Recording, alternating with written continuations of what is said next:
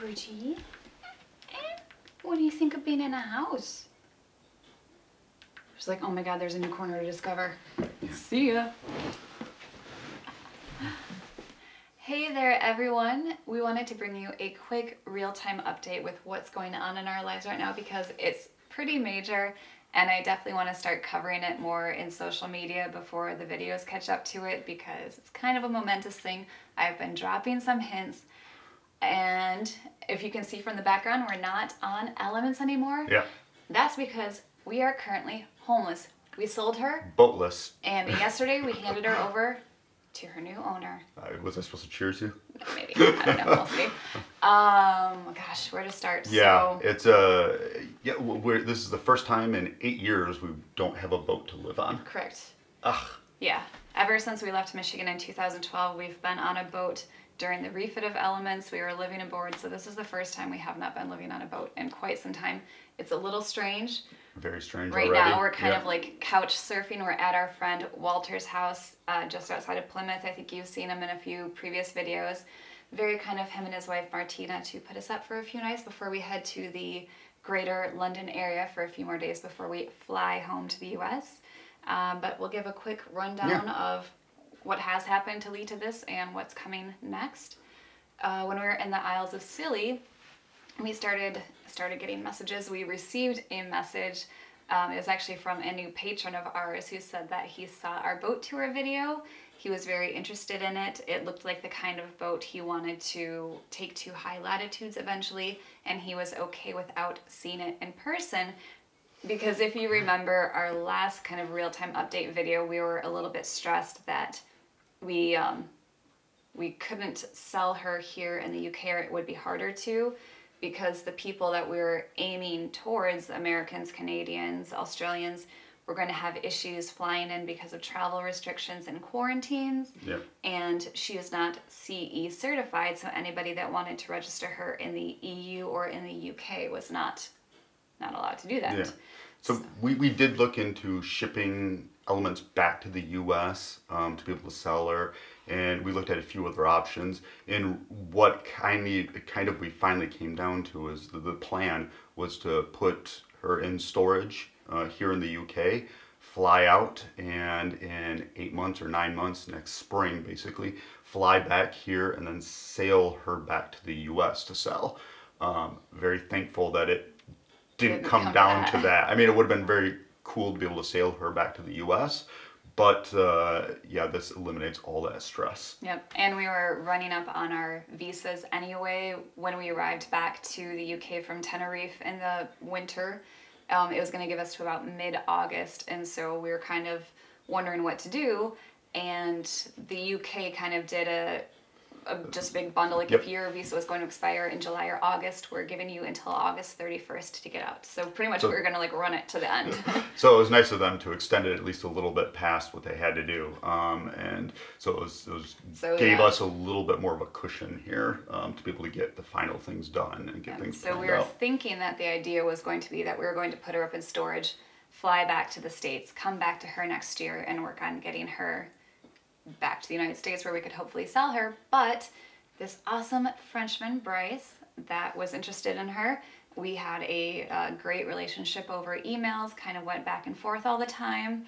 Um, he found out that he could register her in the Isle of Jersey, which is actually where she was registered when we purchased her. Yeah. he's, he's French, but he lives in Costa, um, Costa Rica, Rica. So it he avoids that whole issue of residency in the EU. He actually lives outside the EU. So thankfully for us, he took on the load of research, mostly figuring out what he needed to do to take possession of the boat, to I register it out, yeah, to yeah. insure it.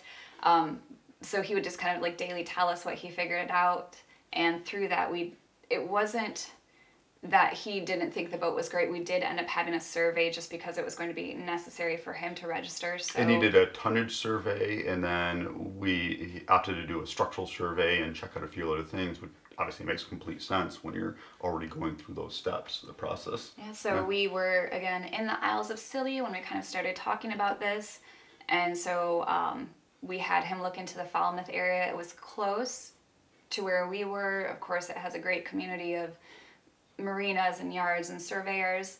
So we set something up there, And um, yeah, they took her for the survey, came back, said everything looks good, and so he said, I'm ready to take it. He had already at this point booked his tickets to the UK because he's like, I know this is my boat. Yeah, know? it was a huge leap of faith for him. Um, it's just yeah, going to be a very exciting time for him to be living aboard a boat and start that whole process. And yeah, it's going to be fun watching how that all plays out. Yep. So then once the survey came back and he said, cool, yep, let's do this, we signed the bill of sale.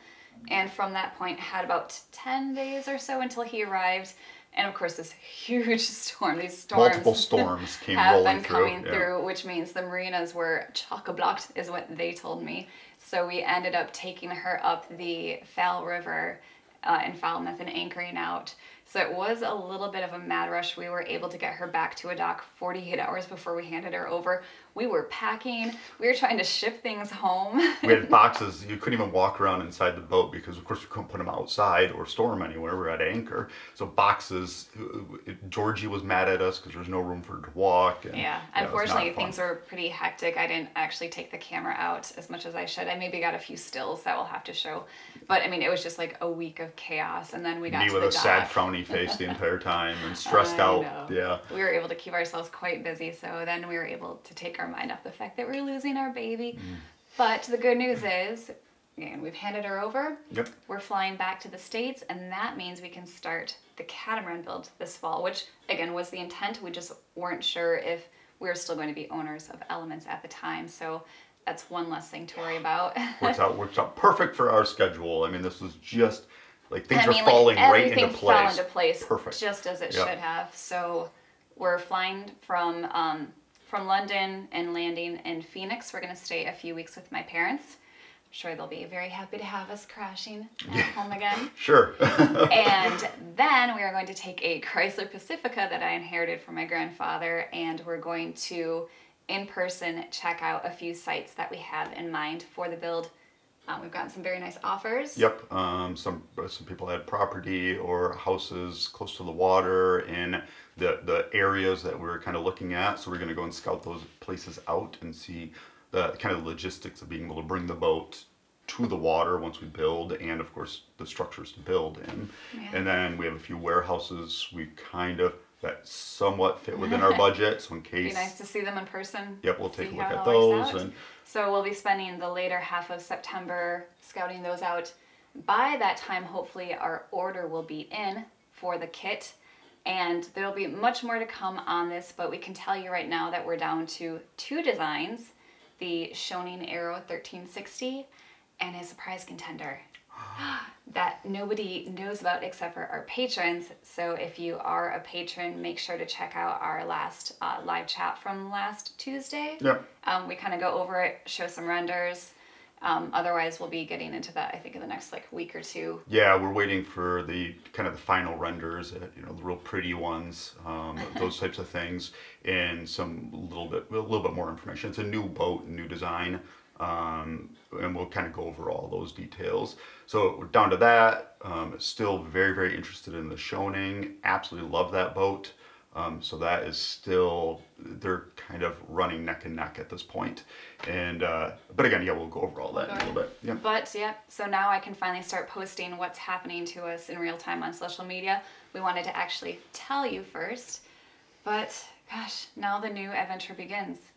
Yeah, it really this hasn't quite hit us yet. No, and We've if you're so asking, like, are you Yep. super sad? It still feels like we're going back to her. This feels like just a quick trip away. Yeah, It I- hasn't. It hasn't sunk in yet. Even even walking down the dock away from Elements, um, I'm sitting there talking to the new owner and talking to Jess. Didn't even turn to around. back. Forgot to even look I back at it. Yes, looked yes. back at her. So it's uh, my my last view of Elements was just walking past it, like it's I'm gonna see it again in 30 minutes. And So he might be the one to burst into tears because he didn't get his proper goodbye. yeah, I'm pretty sure there's gonna be tears flowing soon, but So- uh, we just need to calm down first.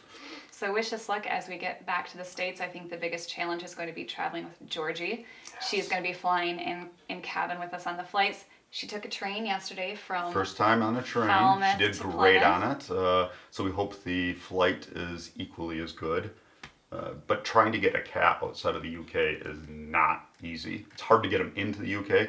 Flying with them out of the UK is even more difficult. hard. Yeah. So, but we'll kind of go for that those details too. So stay tuned for updates. But in the meantime, cheers to Bryce and his new boat, SV Lebensgut. I'm not even going to try to say that. All right, stay tuned.